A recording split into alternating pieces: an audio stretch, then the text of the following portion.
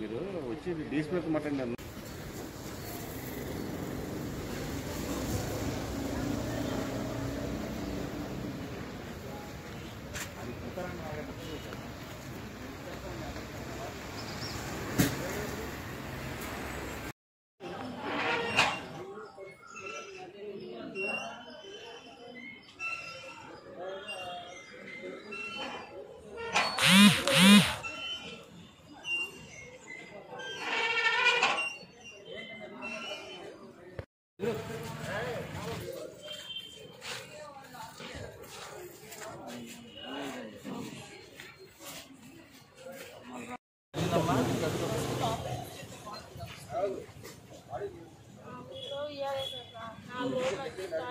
ఇంటి పేరు బలం దేనికి ఏడిపిస్తున్నాను ఏమో సార్ బీచ్కి రెడీ అమ్మంటున్నాడు సార్.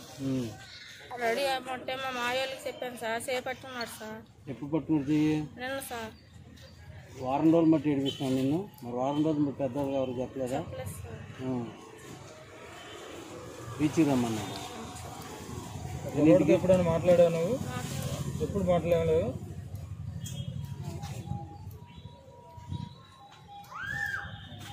ఇప్పుడు ఎన్ని ఎన్నింటికి నిన్న? రెండింటికి. మధ్యాహ్నం రెండింటికి. చెయ్యి ఏమైనా పట్టుకున్నాడా. మళ్ళీ వెళ్ళి అంటున్నా పెద్దవాళ్ళకి చెప్పావా? చెప్పలేదు సార్ నిన్న సాయంత్రం చెప్పాను సార్. నిమ్మగారికి చెప్పావు.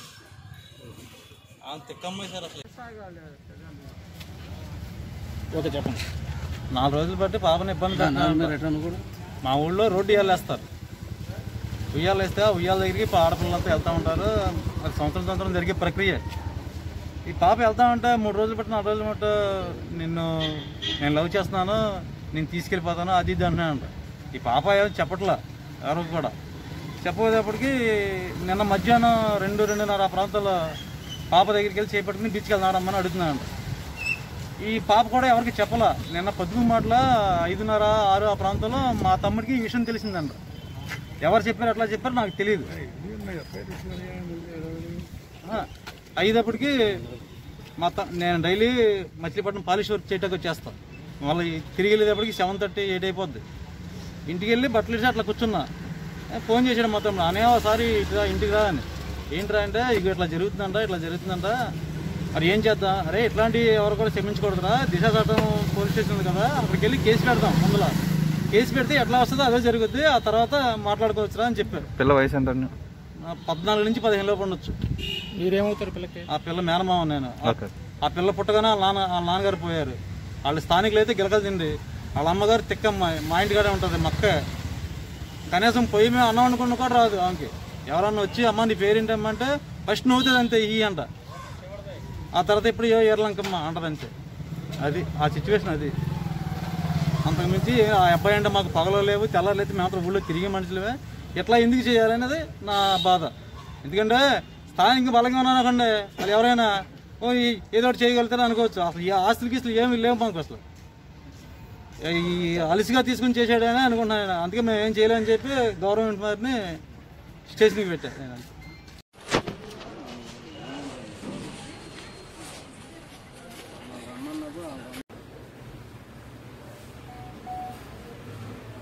చెప్పండి. మచిలీపట్నం క్యాంబాల్పేటలో నివసిస్తున్న బలగం శివ అనే అతను గత నాలుగు రోజుల నుంచి అదే గ్రామం చెందిన ఒక మైనర్ బాలికను ప్రేమిస్తామని వేయించడం జరుగుతుంది. అదే గ్రామంలో నిన్న సాయంత్రం అమ్మాయి ఉయ్యాల దగ్గర ఒంటరిగా ఉన్నప్పుడు అమ్మాయిని దగ్గరికి వెళ్ళి నేను ప్రేమిస్తున్నాను నాతో పాటు రా బండి మీద వెళ్దాం అని చెప్పేసి చేపెట్టుకుని లాగడం జరిగింది. దాని మీద ఆ అమ్మాయి అతని మీద తిరగబడి వాళ్ళ పెద్దలో పోయి ఇలా జరుగుతుందని చెప్పడం జరిగింది. దాని మీద ఆ అమ్మాయి వాళ్ళ మేనమామని తండ్రి తండ్రి తల్లిదండ్రులు తీసుకొని ఈరోజు వచ్చి దిశ పోలీసులు రిపోర్ట్ ఇవ్వచ్చారు. దాని మీద కేసు నమోదు దర్యాప్తు చేస్తుంది అరెస్ట్ చేశారండి? ముద్దాన్ని కూడా ఆ తొందరగా అరెస్ట్ చేసి కోర్టు ముందు ప్రవేశపెడతాం. శాంబాల్పేట ఈ గ్రామంలో నివస నివసిస్తున్న శివ బలగం శివ అనే అతను అదే గ్రామంలో ఉన్న మైనర్ బాలికను గత నాలుగు రోజుల నుండి ప్రేమించమని ప్రేమిస్తున్నానని అమ్మాయిని వేధించి చేశాడు.